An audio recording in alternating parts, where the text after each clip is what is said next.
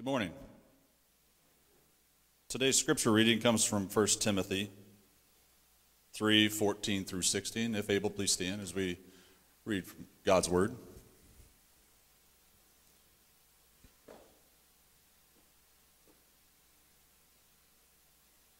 That's 1 Timothy, 1 Timothy 3 14 through 16. And in your Pew Bible, that's page 1188.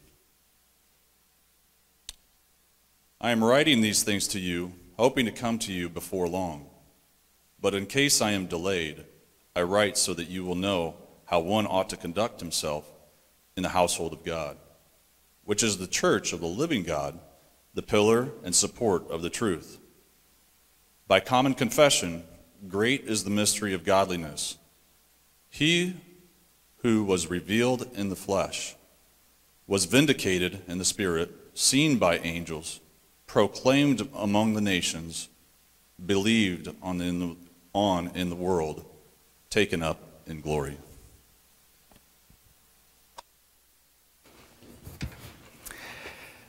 Thank you, Drew. You may be seated. Isn't it wonderful that we have the opportunity as a church? Uh, I don't know if you realized it last week. We've been talking about the church and how God has ordered it with elders and deacons and the family of God. And last week, we had elders teaching. Like this morning, like Drew, we had deacons reading scripture. And as we met together as a congregation last week, we had the engagement of the body of Christ, seeking to determine and follow God's way and will for this local body. It's good to be a part of a church that is seeking to follow God's word and scripture and, and work in that way. May we always continue to do that and seek that. Let's pray together. Father, we thank you this morning for the goodness of who you are. We thank you that you have done everything necessary for us to have a relationship with you. We thank you that before the foundations of the world, you have called for yourself a people we thank you that we can come directly to you as Father because of what Christ has done for us, taking our sin on himself, satisfying our sin debt, propitiating, making propitiation to you, that your wrath, your just, righteous wrath, would not be poured out on those who are yours. Lord, we thank you this morning that we can have hope and life in your name, as we heard read earlier at the beginning of the service. Lord, we confess to you that we fail you, that we fall short of the mark, that we sin, that there is sin in our lives which is unpleasing to you. This morning, Lord, we confess that to you. We pray that your Spirit would reveal in our hearts anything in our deeds, in our thoughts, in our actions that is unpleasing to you and that both what we are aware of and what you will make us aware of, that we will confess those things to you, knowing that you are faithful and just to forgive us of unrighteousness.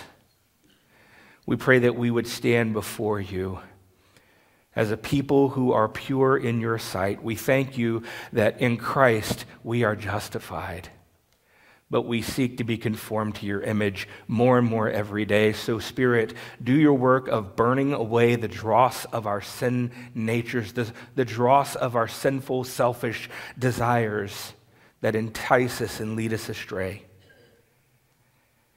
Continue to be faithful to yourself, Lord. And our response is going to be to give you praise and glory, to seek to worship you and to glorify you in worship and discipleship as we follow you, and in mission as we take the good news of the gospel to others. Lord, may that always be the heartbeat of your church as we exist here in this body as First Baptist Bettendorf.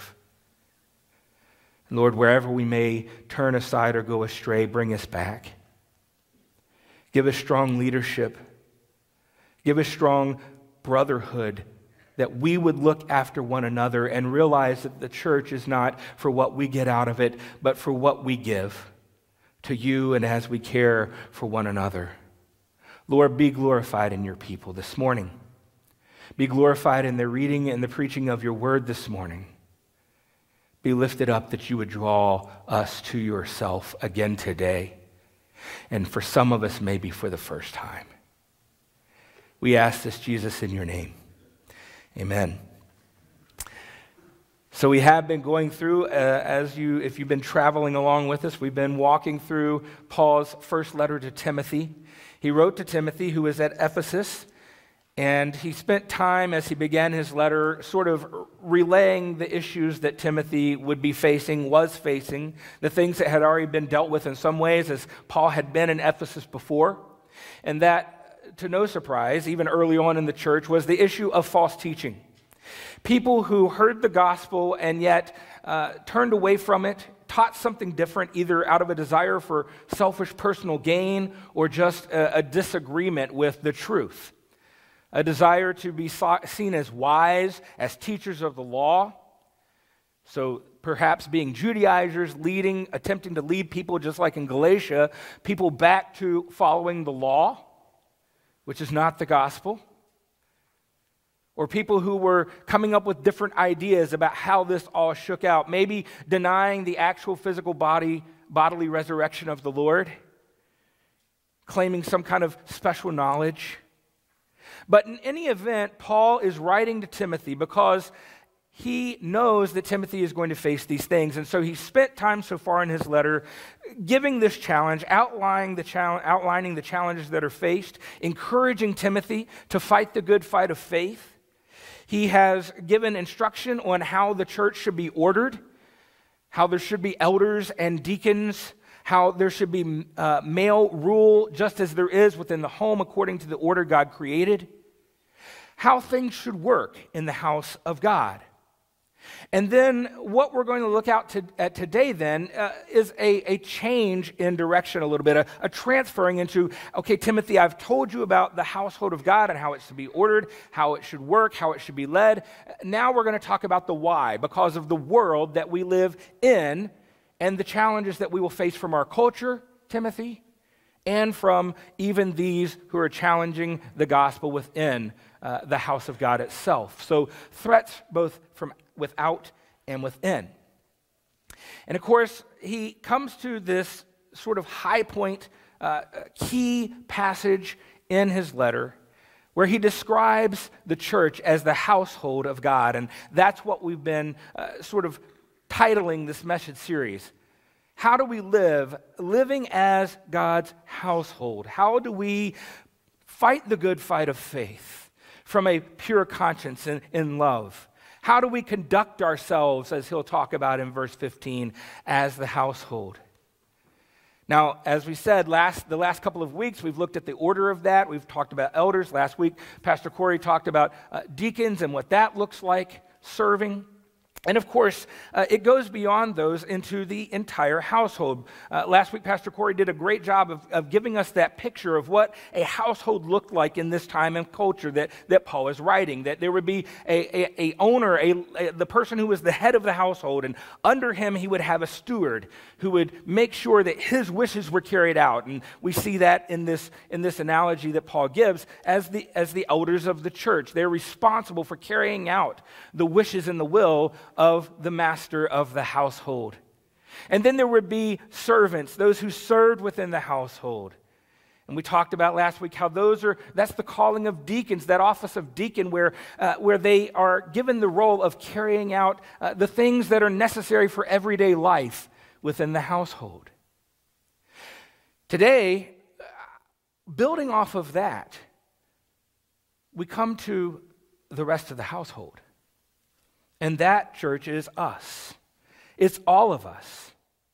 Now, in the last two weeks, you've heard that even though there's these qualifications for elders and qualifications for deacons, that uh, at the very least, the qualifications for all of us as followers of Jesus, as members of the household, are no less.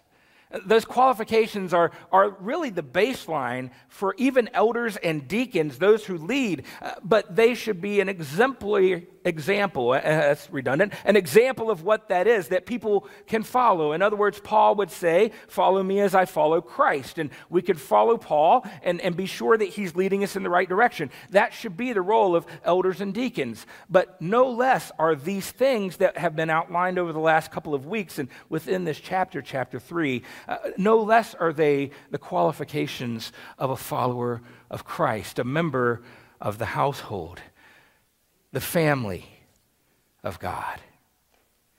Now, on that note, and I'm going to be intentional about this, I'm going to, I'm going to tell you this is parenthetical, and this is stepping on toes, maybe, and this is getting to meddling. This is not part of the, the message that we're going to unpack here in a moment. But, folks, we are a family. And families naturally, if they're healthy, grow, don't they?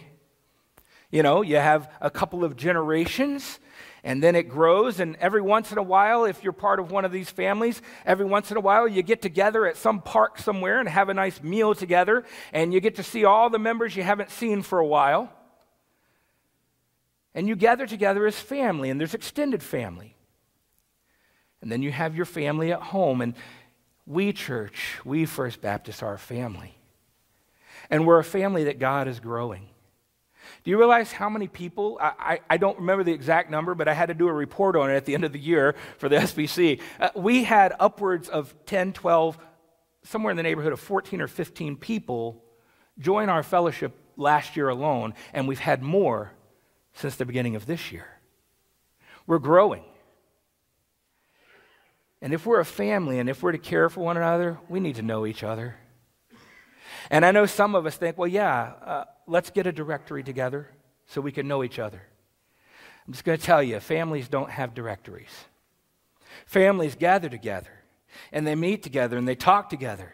And so if you're here this morning, you look around and you see faces you don't know, man, you have great opportunities to get to know the new members of our family. You can join a discipleship group. That's our bread and butter where we do discipleship where we learn and grow together, you will build new relationships as the family if you join a discipleship group. Or maybe it's just taking advantage of all these fellowship meals we have. Come to one of those meals, and as you sit down over a bowl of kidney beans, make sure that you get to know some folks. Learn their names, learn their faces. Walls can be good, directories can be good, but people, let's just talk to each other and get to know each other and be built together as the household of God. Now, back to your reg- regularly scheduled programming in 1 Timothy 3. We are the household of God, and Paul has been writing intentionally in this way and with this analogy so that Timothy and the church at Ephesus, and by extension, the church of Jesus Christ, all times, all places, will know our challenges, will know who we are, will know what we're about, and what we are to do, how we are to conduct ourselves as the household of God, not just in it. So let's look to this word again. 1 Timothy chapter 3, Paul begins in verse 14 by giving his purpose. What is Paul's purpose in writing this letter to Timothy? He says this I'm writing these things to you, hoping to come to you before long. But in case I am delayed, I write so that you will know how one ought to conduct himself in the household of God. So there's a couple things here that I want to just pull out for us as we look at this. Paul gives his purpose here. Timothy, uh, I'm writing this letter because I, I actually long to be with you, but I'm delayed. Now, we, we believe that Paul wrote this letter from Macedonia. He had intended to come to Ephesus. He's been delayed in Macedonia. And so he sends this letter because he himself cannot be there. And so the next best thing to Paul being there is Paul writing a letter. In other words, when Timothy is encountering these challenges, whether it's by people like Hymenaeus and Alexander who have been uh, disfellowshipped, or whether it's new uh, false teachers or Judaizers rising up in the church, how is Timothy supposed to instruct them and, and have the authority to do so? Paul has written in here, well, first of all, the authority is Christ. He's the head of the church. That is the sole, supreme, and only authority. But Timothy, you will have elders who are under shepherds who will carry out his wishes, and there will be deacons who will serve, and the household as a whole will be looking to those leaders to guide them in truth. And Timothy, if for some reason someone contradicts you, if for some reason someone rises up against what you've been teaching, what I've taught you, what the gospel of Jesus Christ is, you have this letter. Show them the letter. Here's Paul's words. Here's the authority. Don't take my word for it. Listen to Paul. And Paul would say, Don't take my word for it. Listen to Christ. And so he says, I desire to come, but if not, if I'm delayed, use these words as a way to contradict the false teachers that it, it carries the weight of my presence in my absence. More specifically, Timothy, I'm writing to you so that you know how one ought to conduct himself in the household of God, or I think we could say as the household of God. And there's two ways to look at this. First, Timothy, you are a leader.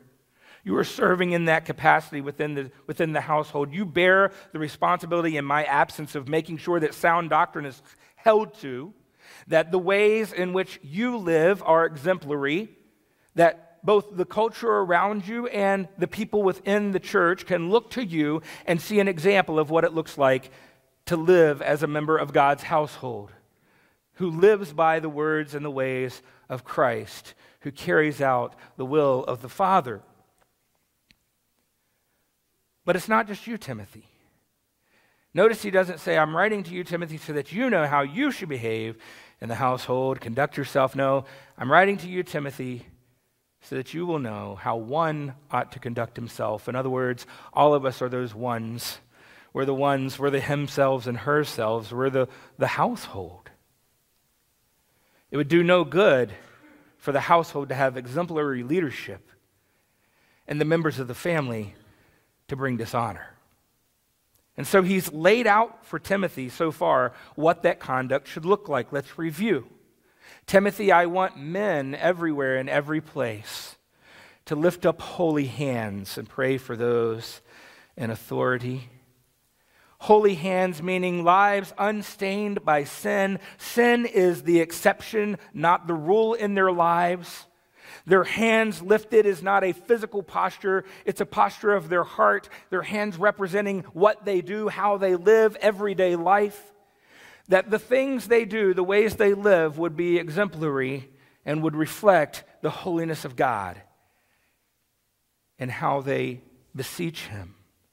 Timothy, I want women to adorn themselves not with all the, the greatest, newest fashions, not in ways that draw attention to themselves, but adorn themselves with godliness, which here again is simply Christian ethic, Christian living, the life of Christ through the individual, that godliness would be exuded from the women so that when people look at them, they don't take notice of them, but of their Savior. Adorn yourselves with godliness and the works of your hands representing the good, godly deeds of a believer, of someone whose life has been changed. Timothy, I do want for you and other leaders to make sure that you're fulfilling your role as under shepherds, as stewards, as overseers, as elders. Make sure you're carrying out the will of the master of the household. Make sure you're defending against aberrant teaching. Make sure that you're being clear about what the truth of the gospel is, Timothy. Lead others to follow as well. Guard and lead the sheep in the truth, that they would not be led astray. Timothy. Deacons, as well as you serve, as you bring order and help bring order to the household and keep unity in the body, where because we're people, there's going to be natural friction and rubbing against each other. Deacons, make sure that the household of God runs smoothly and well oiled, so that as the world around the church observes them, they do like what happened at the beginning of the book of Acts. They see your love for one another they're changed by it, they're intrigued by it, and God will add to the number daily those who are being saved. There's an order here, Timothy. There's a way that we should live, a way we should conduct ourselves as the household of God. And it's not just elders and it's not just deacons, it's the family. may we conduct ourselves well. When I was growing up, my granddad uh, was pretty conservative to the point that he, uh, he was one of these, and there, nothing wrong with this, so uh, I'm not downing this, nor am I upholding it, I'm just telling it. He was one of these that rightly, in many cases, observed television. And I'm talking about television in the 50s and 60s, not what we have today, even. And said, you know what? That's not something I want in my house. There's a lot of ungodliness that's celebrated there. And so for our family, we will not have a television. Well, my dad happened to grow up in that house. And so, as a little kid, you can't imagine what it was like going to school on Monday and everybody talking about the Smurfs or what happened on one of the other cartoons, and you just had to nod your head and act like you knew what they were talking about. And as my dad continued to grow and we were his family, we did eventually get a television. Didn't change. I went to school, and as the kids were talking about Smurfs and Snorks or whatever it was, uh, I was wanting to share about how I had just watched on Saturday morning one of those good Roy Rogers and Dale Evans westerns. Because that's what mom watched, and that's what I watched. But my parents were trying to guard us, even as they themselves were experiencing a little bit more freedom in that gray area. But something unquestionable happened whenever Granddad came to visit. When Granddad came to visit, the television went away. Was my dad being secretive? No. They were aware that we had a television. But my dad desired to honor his father. And so when dad was around, he modified behavior to honor his dad, even though it was his house. Now, this is an imperfect analogy, as all of them are, but I'll just remind us God is always around, He's always here, and our heart must be to honor Him in what we do. So even if there's a gray area where we have freedom, like Paul talks about in 1 Corinthians, or if we choose to our own dishonor to reject godliness in our own homes, in our own secret lives, just remember that how we live as the household of God shows how we honor God, the master of the house. How we live in our house and our life, not just here on Sunday as we assemble as his household, as the church, reflects how we honor God. And there is a world watching, church. And there are people who know that you assemble with this body. And they will watch your life and what they determine about you, and even more importantly, what they determine about our Father, will be reflected in what they see in your life. This is not a guilt trip. I have plenty of warts in my life. But may we live in such a way, conduct ourselves in the household and in the culture around us in such a way that we bring honor to the name of Christ and to the household of God. Timothy, I'm writing you so that if I can't make it there, you and the household know how we should conduct ourselves. That's his purpose. Well, then, what is our purpose in response to that? What's the response and the purpose of the church at Ephesus that Paul is writing to? What's our purpose as members of the household? Verse 15, the second half of this. Writing that you will know how to conduct himself in the household of God, which is the church of the living God, the pillar and support of the truth. And there it is. Why do we conduct ourselves this way? Is it so we can say, I'm better than everyone else? Is it so we can point a finger at the world around us? No. It's because we've been given a trust We've been entrusted with guarding the gospel, the truth of God's word, the truth of who He is. We are the church of the living God, Paul says. Paul writes in Romans that It's a favorite verse for many, often lifted out of context. But all things work together for the good of those who love God. People usually stop there in verse 28 of Romans 8. It's all going to work out. God's working it all together for my good. Finish the verse. For those who are called according to his purpose. You see, God does love us, but He possesses us.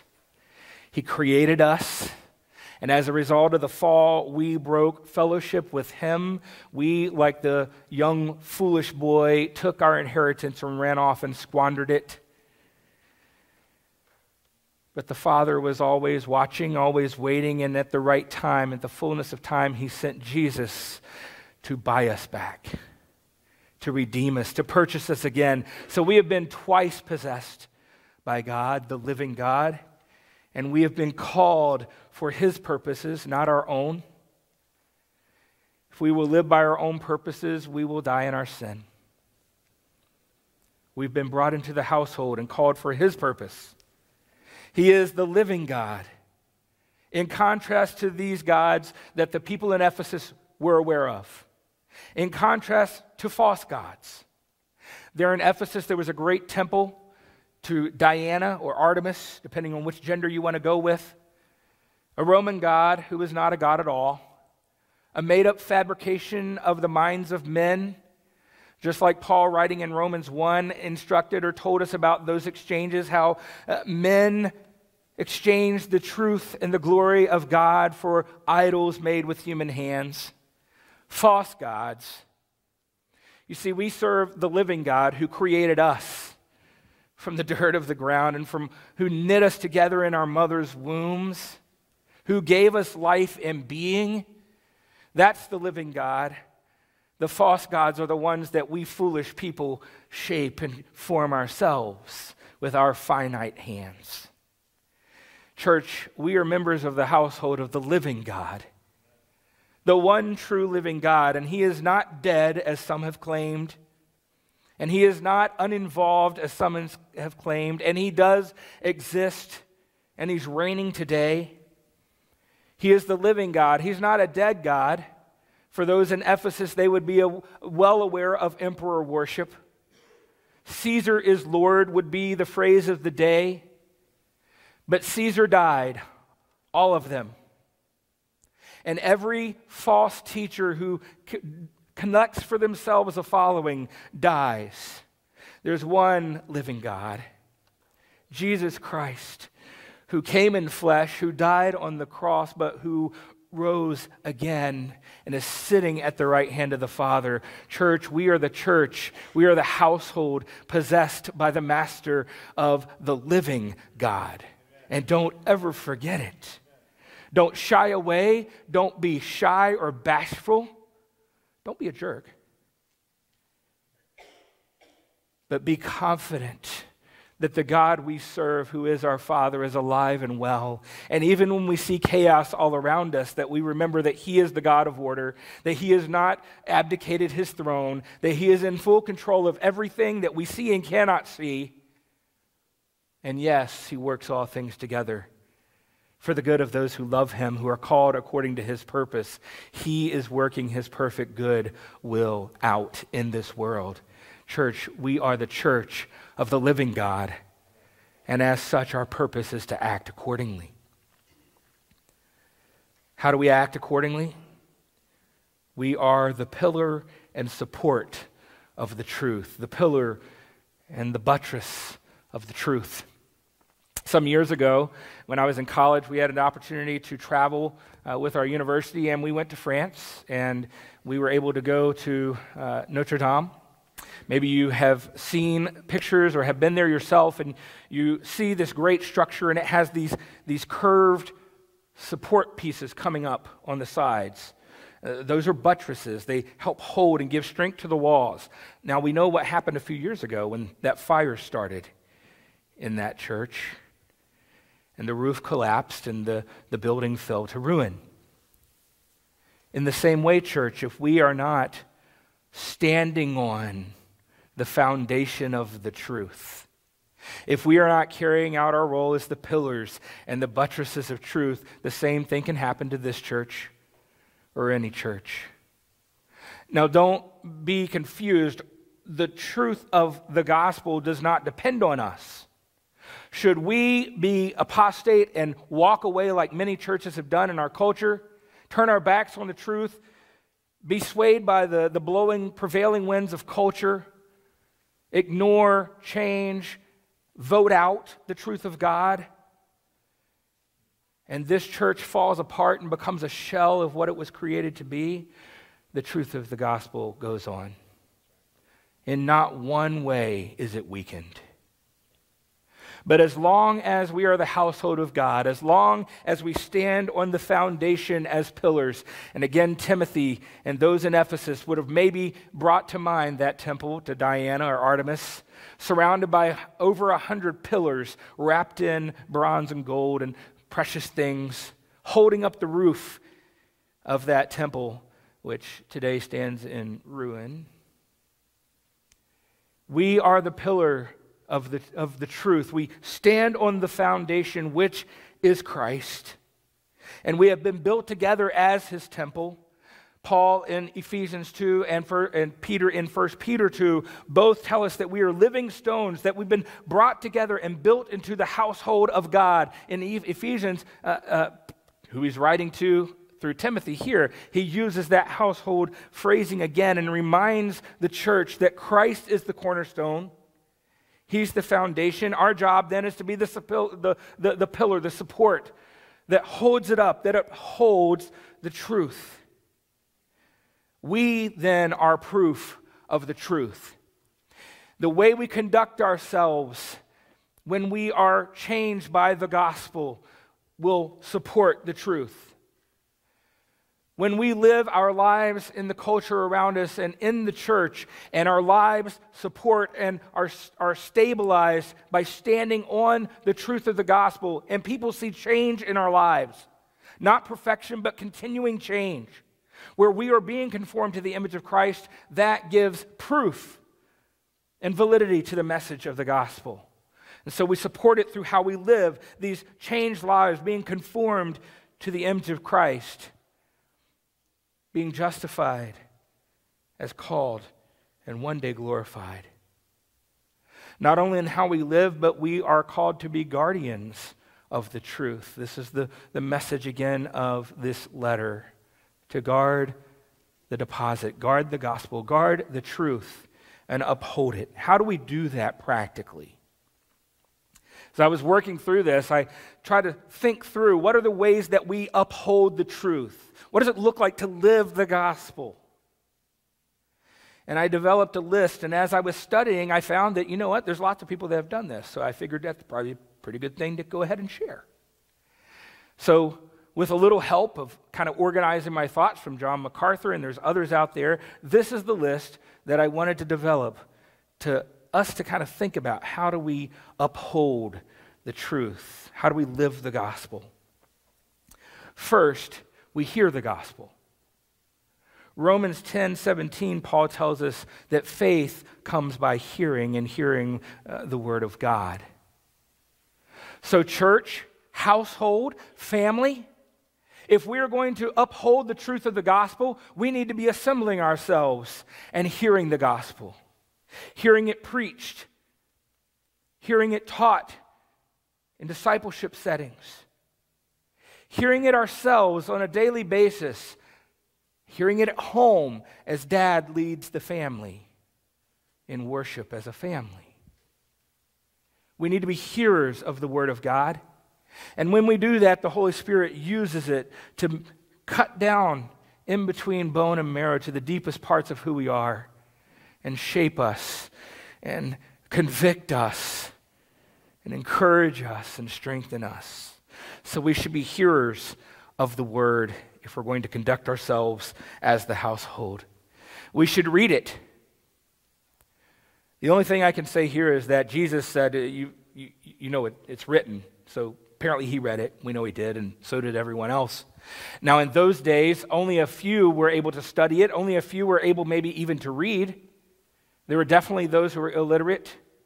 And throughout the annals of history, there are times where the common person in the pew, the family of God, the household, did not have access to the word. And through God, through his providence, and through the, the, the testimony and life, even life giving work of many throughout history, we today sit in a country where you can get any number of versions of the Word of God in a way that you can understand it. There are also some out there that you should not be reading.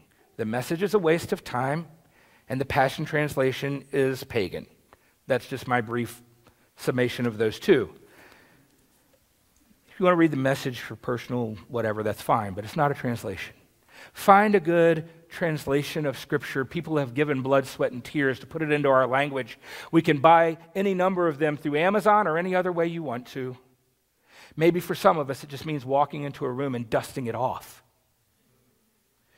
Read your Bibles, it will not return void. How can we uphold the truth if we don't even know it? So let's hear it, let's read it, let's think on it.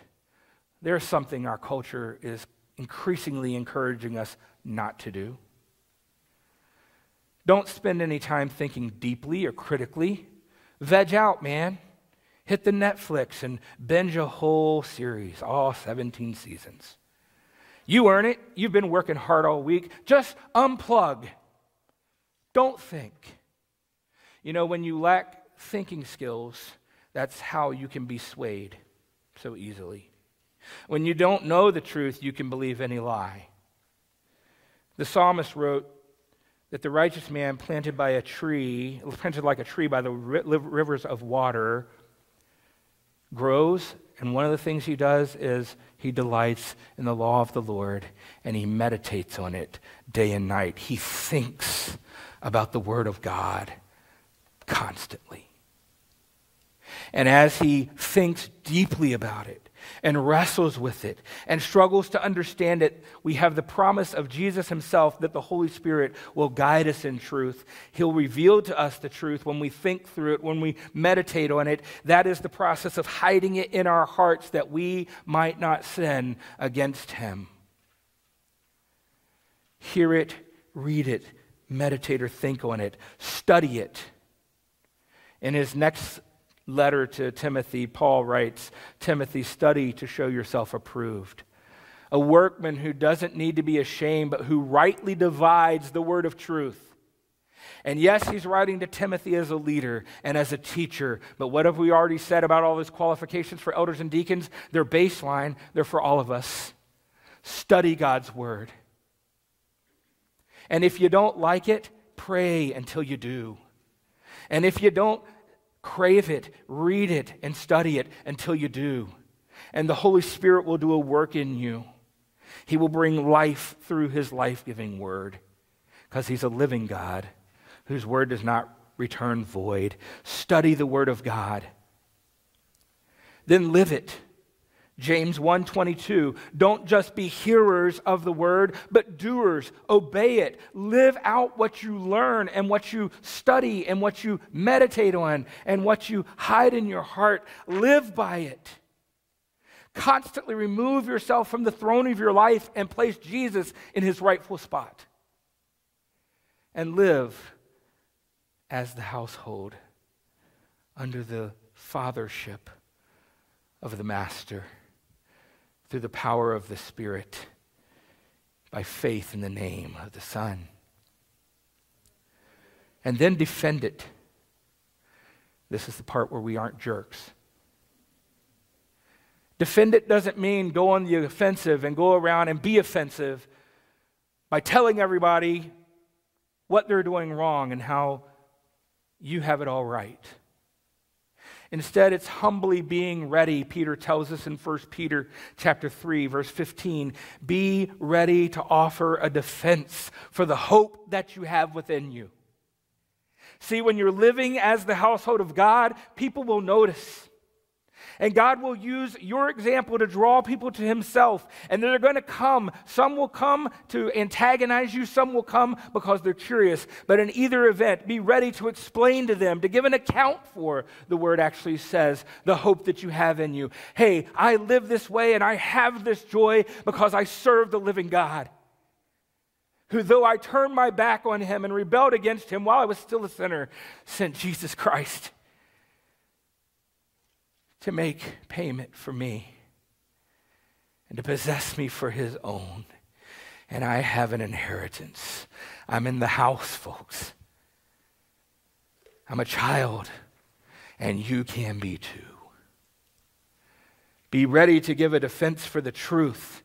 Nothing else saves. No goodness of man will do.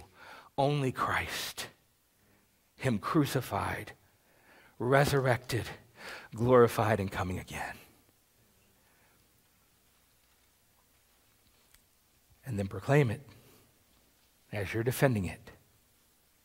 Know it so well that as you hear the challenges and the falsehoods from within the church, because they're all around us nowadays, folks, all you got to do to slip into that is click.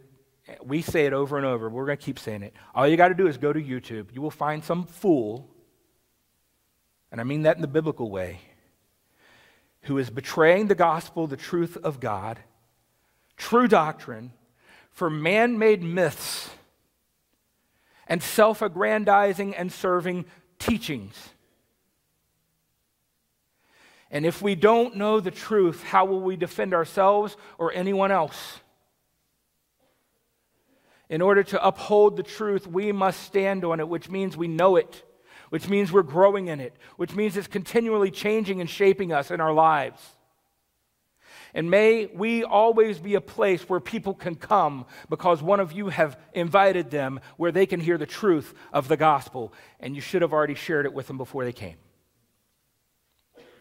This is not just the role of elders and deacons, it's what it means to live as the household. This is our purpose. We are built on truth. He is our cornerstone.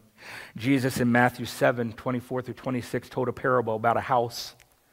And the wise man built his house on a rock. And when the storms came and the, the floods grew and the wind blew, smashed against that house, it stood firm because it was built on the rock. It was built on the truth. The foolish man built his house on the sand. That's everything but the gospel. Every false teaching, every false gospel, every social truth that is no truth. And when the winds came and the floods grew and smashed against that house, it fell flat. Why do so many people in the church fall away? Why do so many people in the church uh, have great destruction in their life and witness? Why do even men who stand before people as supposed elders and leaders and teachers fail? Because they have not built on the truth. They have not built on the rock. What is this rock? It's the gospel. It is our confession. Our purpose must be built on our confession. In Matthew 16, Jesus was with his disciples. It's during the last few days of his life, and he calls them together and he says, Hey, tell me. I don't know if Jesus, I, I know Jesus was doing this for their benefit, but you, you also wonder in his humanness, was he thinking, How's this, how's this gone? I don't know. I don't want to say something I shouldn't about Jesus in that way. If it were me, let's put it that way. If it were me and I've been spending three years, I might wonder, has anybody caught on to what I'm saying?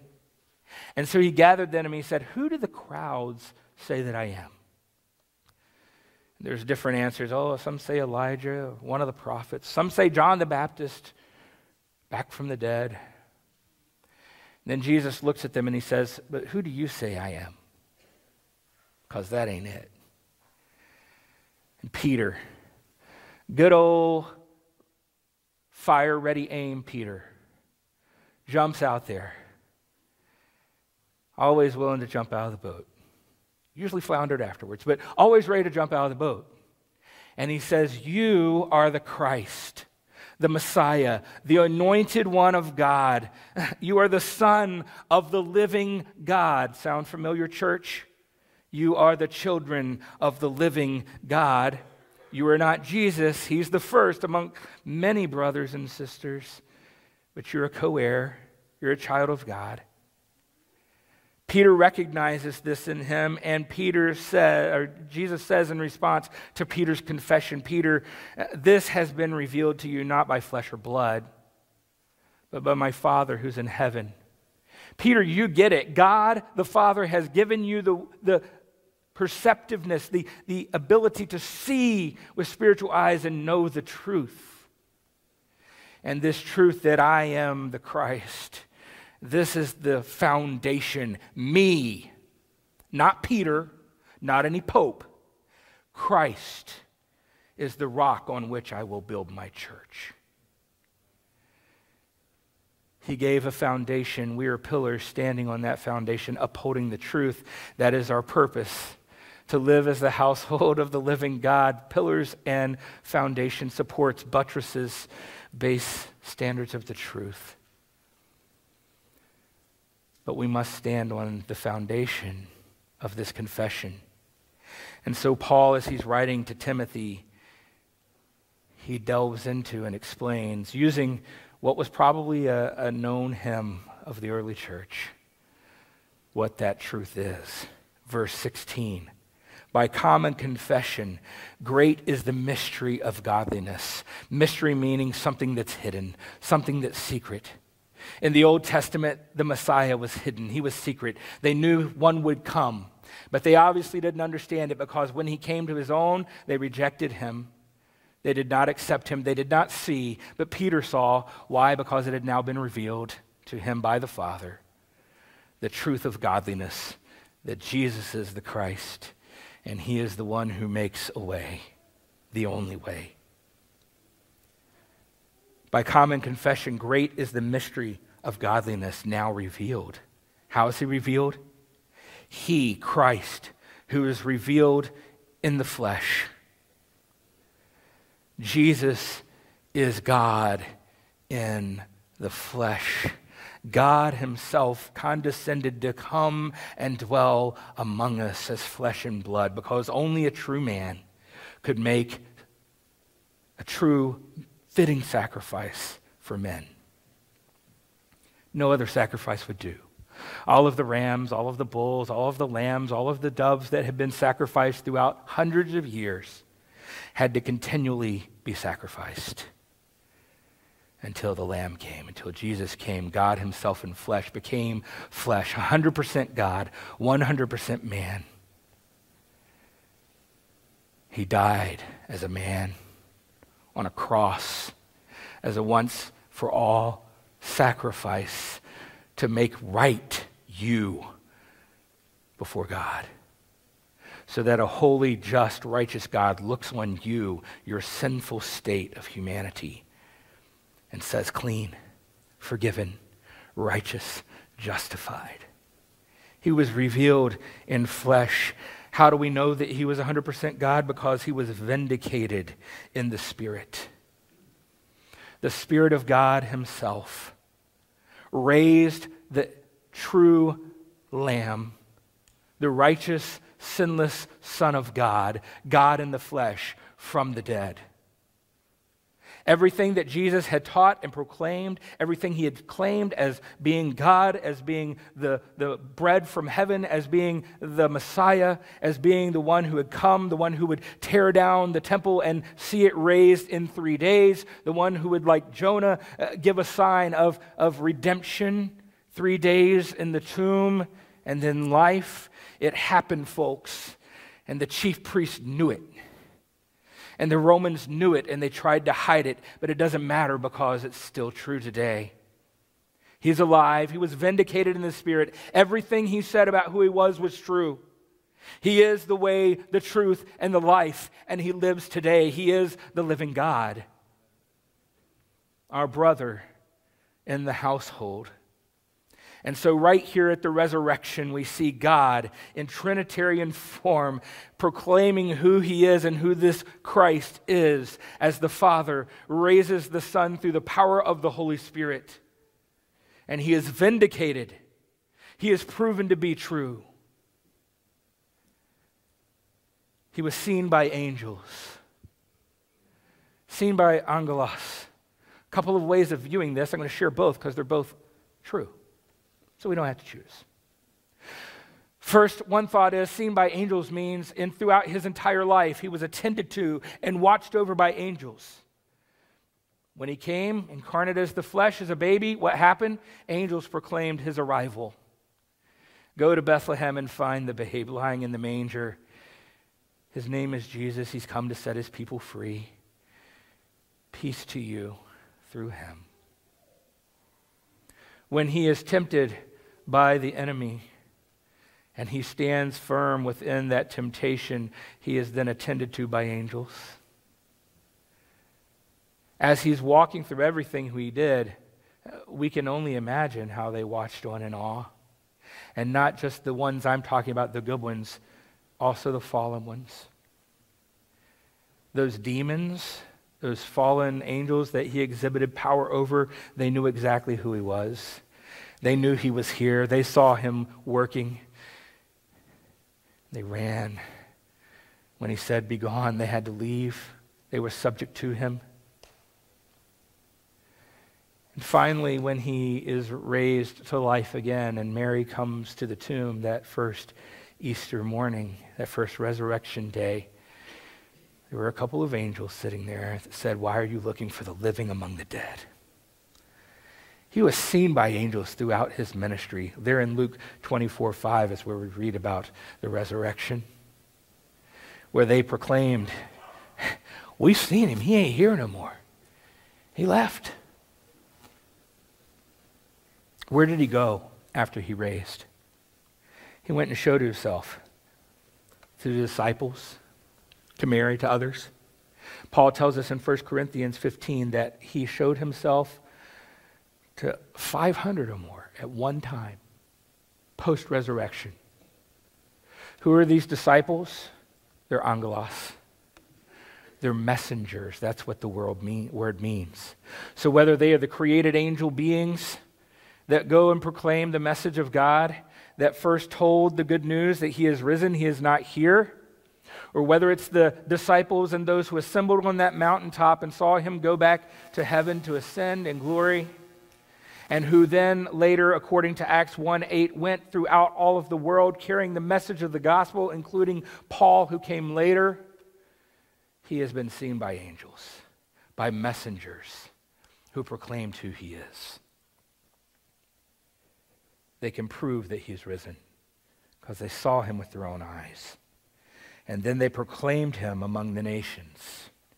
He's proclaimed among the nations, just like I referenced Acts 1 8 right there. Do you realize how amazing it is that a God who chose Israel for himself, a people amongst all the nations of the world, has extended that same grace to us? He has called to himself a true Israel, made from every tribe, tongue, nation. Us, the Gentiles, us who are far off, who have been brought near. So that those are called amongst ethnic Israel and from among all the tr- nations of the world throughout all time will stand one day, as we read there in Revelation, before the throne, saying, Salvation belongs to our God and to the Lamb. He was proclaimed among the nations by his messengers who had seen him risen to life, vindicated by the Spirit, God in the flesh, the Messiah. And as they proclaimed him, he was believed on in the world. People heard the good news and they believed it enough that they became messengers and they went to their deaths. They were witnesses, the word literally in Acts being the word martyr. They gave their very life's blood to stand firm and uphold the truth. So that some amongst them and around them would hear the good news and believe on him. John 1 12 that we read this morning. But as many who believed on him, to them he gave the right to become children of God. He brought them into the house. And as they were brought into the house, they continued to proclaim among the nations that those who would believe would be made members of the house. And then as he stood with his disciples in Acts 1 11, and he gave them the Great Commission to go proclaim the good news, to stand on the truth, to proclaim it, to defend it, to live it. He was then carried up before their very eyes. And guess who's there? Angels again. Guys, why are you standing here looking in the sky? Look a little silly. They're wondering what's, what's happening here. We haven't seen this one before. Seen him change water to wine. He's alive. That's, that's pretty cool. What's he doing now? He's doing what he said. He's, he's returning to his rightful place of authority in glory, taken up in glory to his rightful position as the man, the Son of Man, the one who has authority, the one who holds the keys, who will, as they told the disciples, those angels, he will come again in the same way as which you've seen him go. And so within this, Paul gives us the rock, the truth that we hold, what we find our marching orders in, what we find our identity in, how we are to live, how we are to breathe, how we are to bring glory and honor to the name of Christ, to God our Father. To live as the household is to stand firm on the gospel truth that Jesus Christ is Lord and Savior crucified, buried, but risen again and reigning forever and ever as King of kings and Lord of lords. And he will change and bring to life the dead who are his. Don't let anyone tell you otherwise.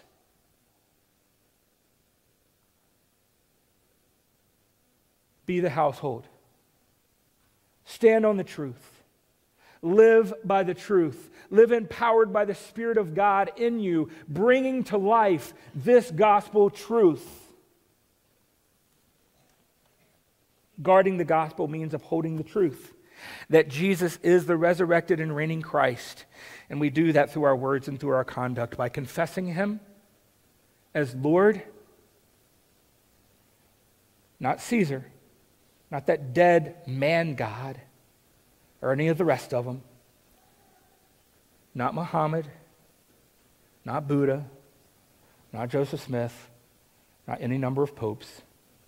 Jesus. Confess him as Lord with our mouths and believe in our hearts that God raised him from the dead.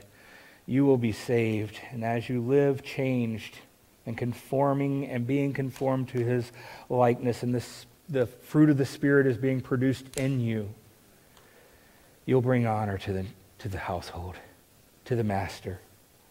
So proclaim this truth boldly, humbly, because he didn't do it because you deserved it. He didn't save you because you were good. He saved you because you had no other hope and because he determined to call you out of darkness, from death to life, for his glory.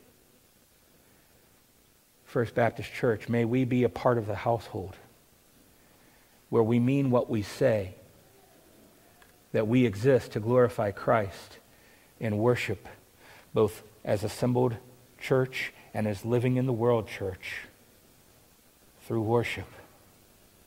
Through discipleship, as we join together and tell each other again the gospel over and over until it produces in us the fruit of righteousness and conforms us more and more to his image until we see him one day glorified. And in mission, as we go and proclaim this truth boldly, humbly, graciously, but with tenacity and stick to itiveness. May we hold to the gospel like a pit bull on a bone and never let it go. It is our hope, it is our strength, it is our joy. It is our glory. It is our charge. It is our privilege and may it be our life. Father, this morning we pray that you would make this true in us more and more each day. That, Lord, we would stand before you with holy hands and hearts, that we would adorn ourselves with the godliness that comes through you. That by believing on your name, by confessing with our mouth that you are Lord and confessing and believing in our heart that, that you have been raised from the dead, we might be saved, and so might others around us. Lord, may we conduct ourselves in the household in a way that's fitting and proper as children of the living God. May we uphold your truth firmly as we stand on the foundation, the only rock that saves us from the storms and trials, blowing winds of change in the world. Lord, maybe you be glorified through us. We pray this together. And all the church said, Amen.